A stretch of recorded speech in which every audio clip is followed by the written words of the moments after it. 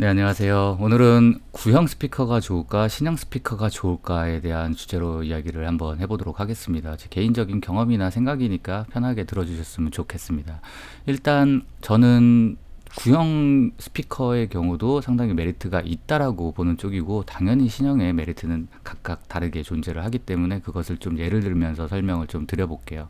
일단 기본적으로 신형은 개선이 되는 그런 부분들이 있는데 오디오 기술은 이미 1980년대에 정점을 찍어서 더 이상 개선이 되는 부분들이 많지가 않아요. 소재의 고급화 정도가 이루어졌는데 기본적으로는 트위터의 성능이 어, 개선이 된 건 분명히 존재합니다. 하지만 이걸 좀 파악해 판단을 해봐야 되는 건 어, 베릴륨 다이아몬드, 세라믹 뭐 이런 발, 개선된 전혀 다른 물성을 가진 더 단단하면서 더 가벼운 이런 소재를 가진 콘을 사용하는 트위터들의 경우는 분명한 성능 향상이 있다라고 저도 판단이 됩니다. 하지만 이러한 고성능 트위터들은 기본적으로 단가가 상당히 비싸기 때문에 최종적으로 소비자가 천만 원 이상, 기본적으로 이천만 원 이상에 되는 스피커들에게 들어간 경우들이 대부분이고 이러한 경우에는 정말 구형 스피커들보다 앞선 성능을 제공해 제공해주고 있는 게 맞습니다. 하지만 우리가 보편적인 오디오 매니아들이 접근할 수 있는 가격대가 아니다 보니까 우리가 이제 많이 쓰는 이제 50만 원에서 뭐 500만 원 사이의 스피커들이라고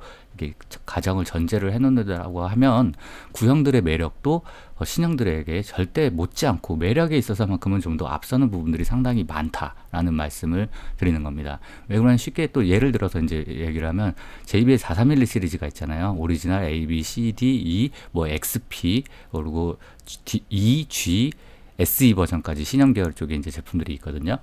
어, 신형 쪽으로 가면은 어, 보, 보편적인 가정에서 좀 더 구동하기도 구동도 조금 더 쉬워지고 저음량에서도 좀 더 소리가 잘 나오게끔 변화가 됩니다. 그리고 단순히 락, 뭐 팝, 어, 이런 메탈에서만 좋은 게 아니라 뭐 재즈라든가 보컬이라든가 이런 류의 장르에서도 조금 더 잘하게 변경이 되었어요.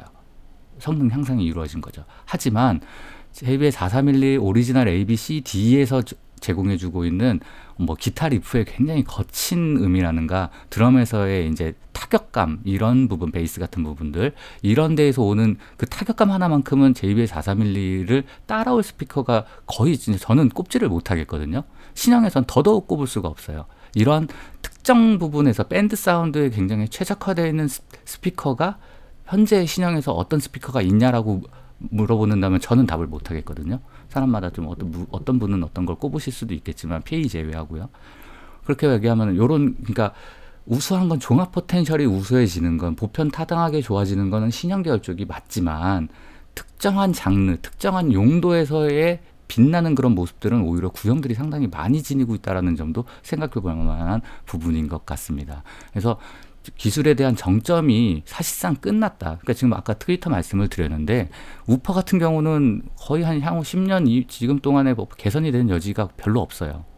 스카닝 정도가 한 10년, 20년 전에 상당한 어, 뭐 기술 발전을 이뤄냈지만 1, 20년 이후로 우퍼에서 뭐가 이렇다 할 특성을 나타낸 곳 자체가 없죠.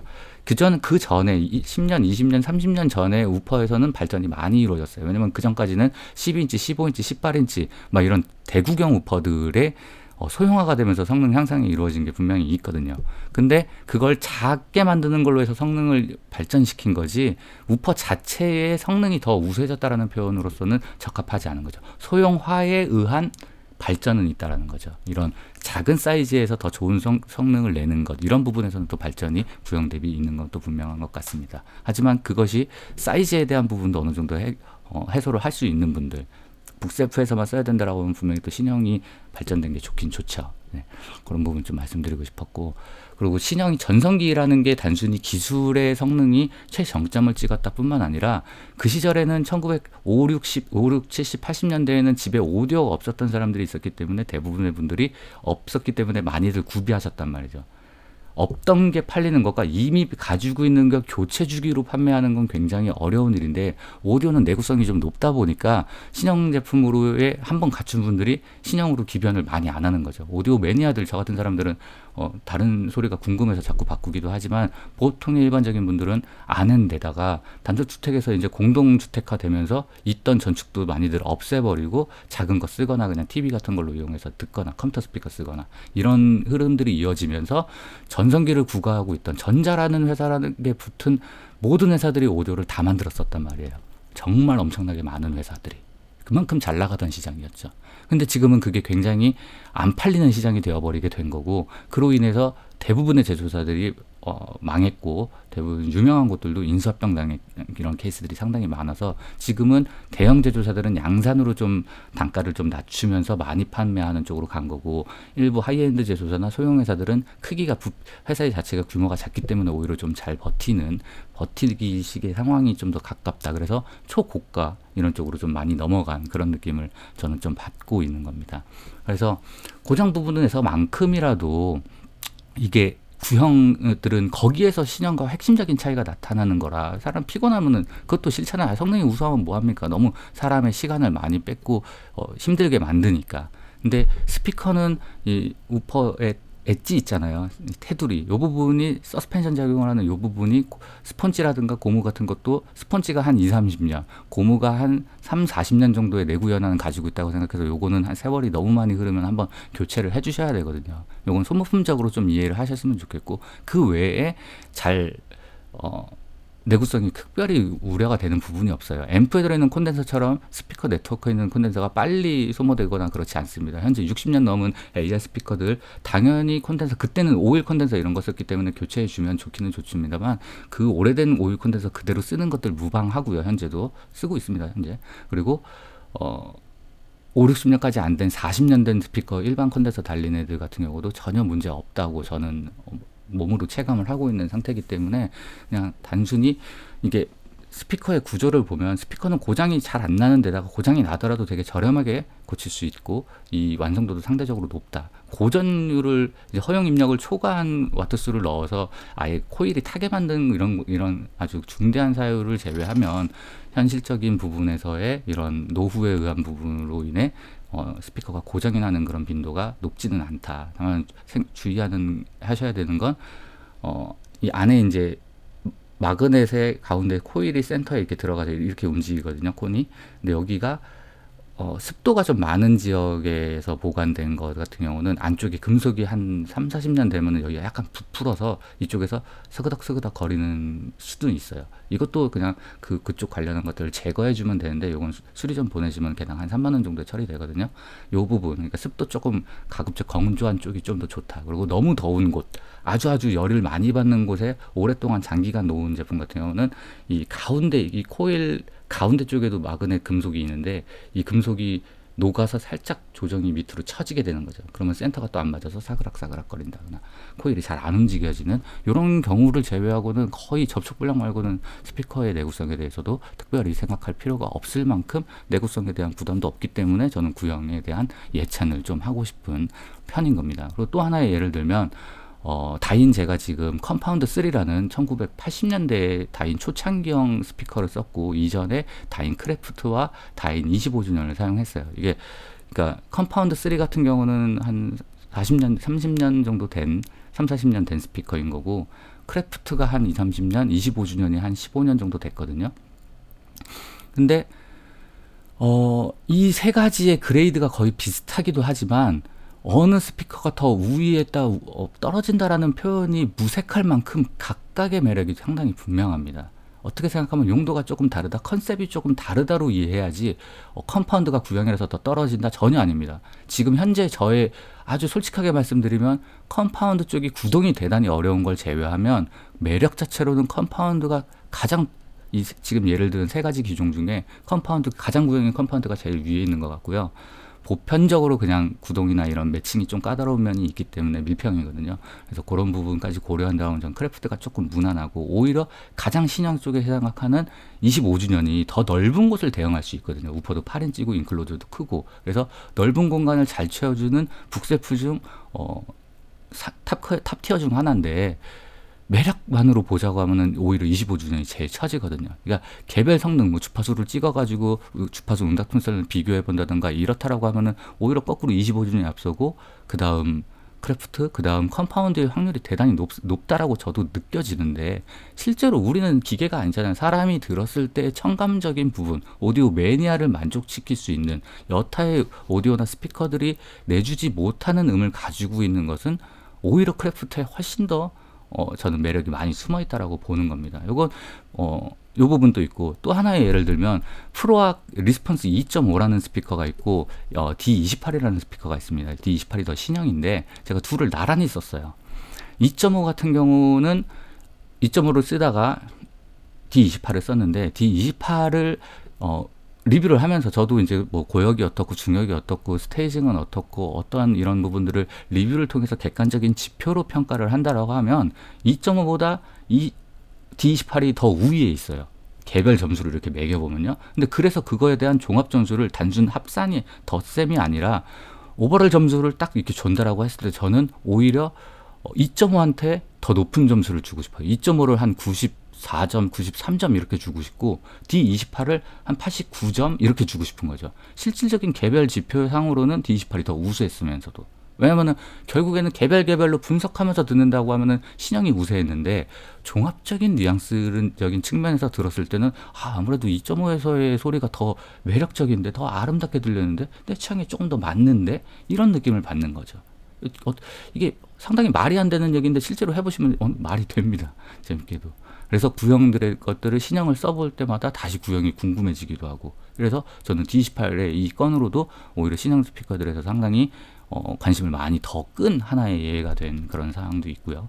또 하나는 이제 반대급부인 부분 한번 말씀을 드려볼게요. 예, 그 구형 스피커가 신형 스피커보다 앞서기 위해서는 구형 스피커가 신형 스피커보다 출시가 그러니까 그 당시에 1980년이라고 기정하면 그때 뭐 환율이 한 650원, 600원 이랬을 때거든요.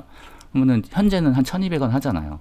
그럼 거의 두 배 차이가 나는 건데 그런 환율이나 돈의 가치 이런 것들을 따져서 어, 비슷한 급일 때에는 둘이 거의 비슷한 동급이다. 하지만 그 두 배, 두 배를 넘어서는 약 세 배 정도라고 저는 생각하거든요. 그러니까 중고가 300만 원에 똘똘한 스피커가 있다라고 하면 대략 900만 원이 넘어가는 기종이면 그 중고가 300만 원짜리보다 우위에 있다라고 보시면 될 거라고 저는 생각해요. 동체급, 동 스타일의 경우에요. 그러면 거꾸로 어, 900만 원이 안 되는 600만 원짜리, 700만 원짜리 스피커라고 하면은 중고가 300만 원짜리한테 밀릴 성능적으로 밀릴 확률이 되게 높다. 매력적으로는 상당히 많이 밀릴 거고 여기서 성능이라는 부분이 아까도 말씀드렸지만 이 현대 음악을 듣는다. 오, 음악을 만들어서 모니터링을 한다. 이런 부분에서는 신형이 분명히 유, 유리합니다. 우위에 있다라고 저도 생각이 들어요. 근데 우리가 생각보다 현대 음악을 많이 듣는지 옛날 음악을 더 많이 듣는지를 사람마다 다 다르죠. 그걸 한번 생각해 볼 필요가 있어요. 그래서 옛날 음악을 비중 있게 듣는, 들으시는 분들은 구형 스피커에 대해서 더 높은 점수를 줄 확률이 높고 요즘 음악 요즘 음악 중에서도 아주 뭐 EDM 사운드가 많이 들어간다든가 아주 복잡한 음악이 들어간다든가 아니면 약간 피곤한 음악이 들어간다든가 이런 거 오히려 신형 스피커가 더 잘하기 때문에 이런 부분에 의한 우열이 좀 있을 수밖에 없다는 거고 아까 환율 이야기 다시 이어나가면 어, BMW 802, 노틸러스 802가 1900, 2002년도에 나와가지고 그때 한 920만 원 정도 했거든요. 그러니까 소비자가 한 천만 원 했던 거죠. 근데 802 D3가 이제 현재는 D4가 작년 겨울에 나왔거든요. 802 D4가 지금 4,500만 원 정도 하고 802 D3가 3,200만 원 정도 해요. 그러니까 신형이 한 5년 주기, 6년 주기에 한 번씩 나오는데 그럴 때마다 천만 원씩 올라갔죠. 이 천만 원은 4, 5년 만에 천만 원이 올랐다는 소리는 어, 생각보다 많이 오른 거죠. 요렇게 올라간 제품들은 전작에 비해서 성능 향상이 비교적 분명한 케이스에 해당을 합니다. 그래서 요런 케이스는 신형이 더 좋다라는 걸 어렵지 않게 생각하셔도 돼요. 모두가 그런 건 아닙니다. 특정한 아주 믿을 수 있는 정도의 제품 라인업과 그런 구성들을 갖춘 어, 오디오 브랜드를 의미합니다. 그래서 이런 케이스는 당연히 후속에서 80 80이 그냥 노틸러스에서 이제 S 버전 나와서 조금 더 개량되는데 이 둘은 뭐 사실상 현재의 기준으로는 그때만 해도 S가 훨씬 더 뭐가 좋고 뭐가 좋다 했지만 지금 기준으로 보면은 그렇게 큰 차이는 아니거든요. 연식 차이가 좀 더 오히려 큰 거죠. 그리고 그 다음에 그냥 D 나오고 그 다음에 D2가 나오면서 이제 다이아몬드 트위터가 들어간 거죠.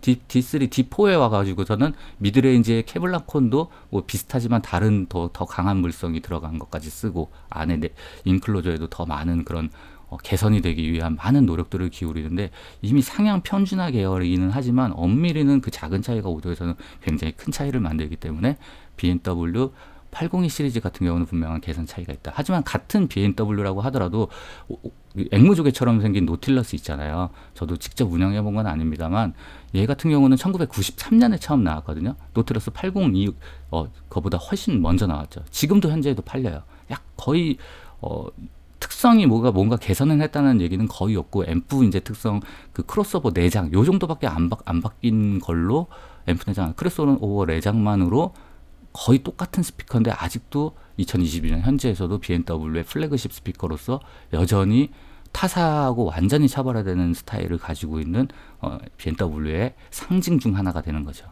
오래되었어서 안 좋은 게 아니라는 얘기예요. 그, 그 정도의 최상급, 뭔가 완전히 그런 identity를 가지고 있는 이런 기술들은 여기서 더 캐드 다이아몬드 트위터 올리면 더 좋아지고 뭐하고 하는데 아예 구성 자체가 일반 Nautilus나 하위 기종들이랑 완전히 다르기 때문에 이들이 가지고 있는 존재 가치는 세월이 흐른다고 해도 변하지 않는다는 거죠. 폼은 일시적이지만 클래스는 영원하다.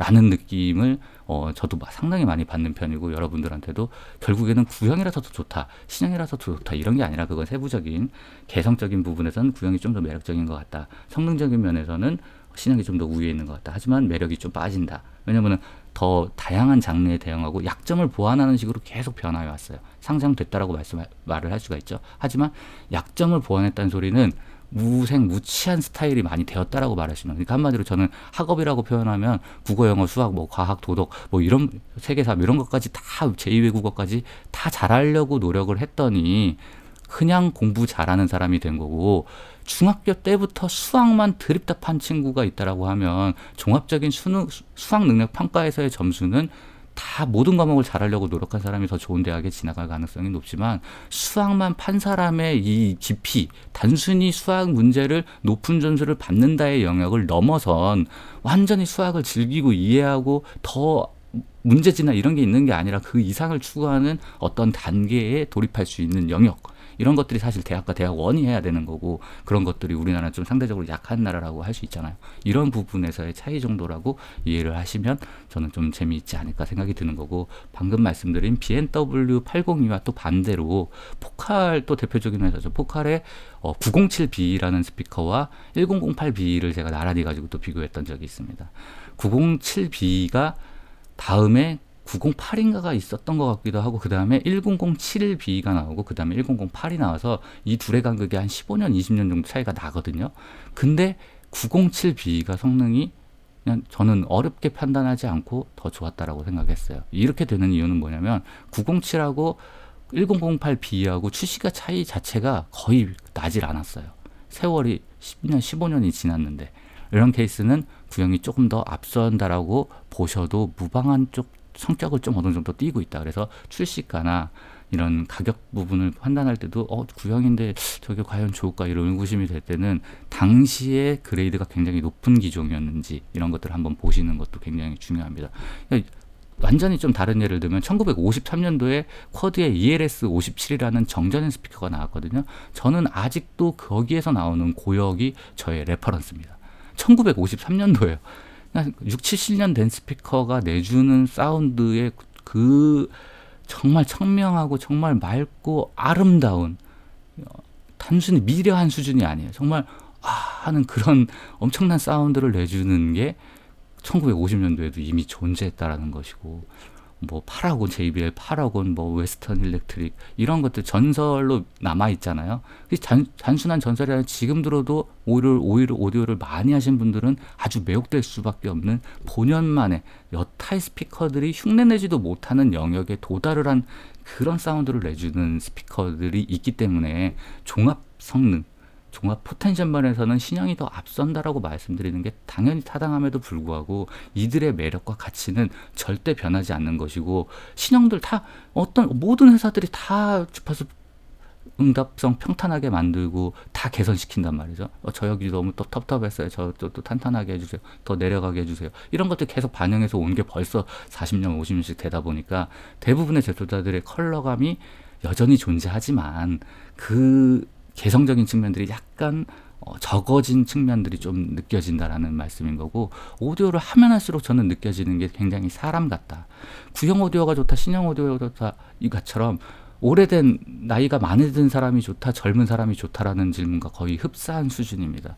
나이가 있는 사람들은 결국엔 경험치가 좀 더 많아서 또 어, 그런 걸 정제할 수 있는 어떤 마음가짐 이런 것들을 옛날에는 막 부스부스 화도 많이 냈다가 그런 것도 어느 정도 참는 능력이라는 걸 배우는 거고 젊은 사람들은 그 특유의 생기발랄함과 그 진취적인 그런 생각들로 뭔가 더 발전을 추구하려고 하는 그런 부분들도 장점이라고 할 수 있잖아요. 근데 누가 더 우위고 누가 더 별로다라는 말을 할 수가 없는 것처럼 오디오 또한 매우 그렇다. 라는 생각을 저는 가지고 있는 겁니다. 때문에 무조건 구형에 대해서 저는 조금 더 호의적인 생각을 갖고 있는 사람이지만 구형이 무조건 좋다가 아니라 어, 모니터링 효과, 용도로 쓸 것이고 최신 용도 최신의 음악을 주로 듣는 거고 분석적인 면으로서의 석성 그리고 한 개의 스피커로 다양한 장르를 만족하고 싶다고 생각하면 신형 쪽이 조금 더 저는 좋다라고 생각을 하는 것이고 어, 주력된 장르에서의 스피커를 한 주만 쓸 게 아니라 한 두 주 정도는 쓸 수 있다. 뭐 이런 상황이라든가 어, 아니면 특정한 장르를 위주로 많이 듣는다든가 그러니까 클래식 많이 듣는다고 하면은 뭐 영국이나 유럽산 제품들이 상당히 유리한 것과 매한가지죠. 그쪽에서 나오는 우수한 객관적 지포상으로 떨어지는 소리인데 종합적인 소리가 되게 좋은 뭐 예를 들면 스펜더 PC 어, 1, 2, 3 그리고 뭐 ASA1 그리고 헤이브루 PC HB2 뭐 이런 스피커들 진짜 어, 클래식이나 특정 장르만 이렇게 놓고 보자고 하면 진짜 어마어마한 매력을 가지고 있거든요. 대번에 들어서 딱 좋은 게 아니라 들으면 들을수록 좋은 사운드를 내주는 이런 사운드를 오히려 현대의 신형 기종들은 의외로 잘 못한다. 하지만 두루두루 편안하게 막 들을 땐 되게 좋다라는 거고 극단적으로 high-end에서는 또 성능 신형이 좀 좋다고 말씀드렸잖아요. 구형인 경우에도 아니 저가형인 경우에도 신형이 좀 더 우수하다라고 저는 생각합니다. 그러니까 과거에 5만 원짜리 active 스피커랑 현재의 5만 원짜리 active 스피커랑 비교하면 현재의 5만 원짜리 active 스피커가 좋은 것 같아요. 그러니까 그 옛날에는 그러니까 어 5만 원 under 쪽에는 뭐 스피커 cone도 다 종이 쓰고 종이 콘 들어가 있거나 메탈이 들어가 있어도 어떻게든 저가형으로 만든 게 들어갔다면 지금은 그런 구성이 거의 흔한 정도가 됐으니까 어 플랜지 쓰지도 않, 안, 안 쓰고 갈 수 있는 정도가 되다 보니까 염가형 계열에서는 어, 신형의 좀 메리트도 또 분명히 있는 것 같다 해서 요 두 가지의 차이를 어느 정도 좀 어, 바라보고 어, 선택해 주셨으면 좋, 좋겠다는 생각에서 한번 제 이야기를 한번 드려봤습니다. 어떻게 재밌게 들으셨는지 모르겠습니다. 즐겁게 들으셨다면 구독과 좋아요 한번 해주신다라고 하면은 컨텐츠 제작에 큰 도움이 될 것 같습니다. 다음에 다른 내용으로 인사드리겠습니다. 감사합니다.